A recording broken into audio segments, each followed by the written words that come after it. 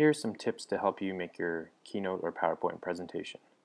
First, make your slides using Guy Kawasaki's 10-20-30 rule. Make sure you've watched the video that is in this unit. Answer the following questions in your slides. Which element do you think you have had the most training or explanation about?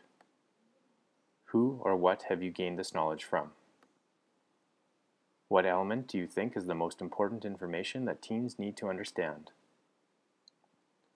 What is the best way that teens could get this information?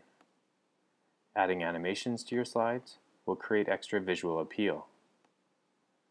Next, you need to record your slideshow in Keynote. To do that, you can go to the top play menu and then go down and click Record Slideshow. After you do that, you will see a screen like this. The red button in the bottom left corner will start your animation. Make sure you're on your first slide before you start to record so that you'll go through your presentation in order. When you are happy with the recording, you will need to export it with a QuickTime export. Go up to the File menu, down to Export to, and choose QuickTime. Once you've clicked on that, you will see a window that looks like this.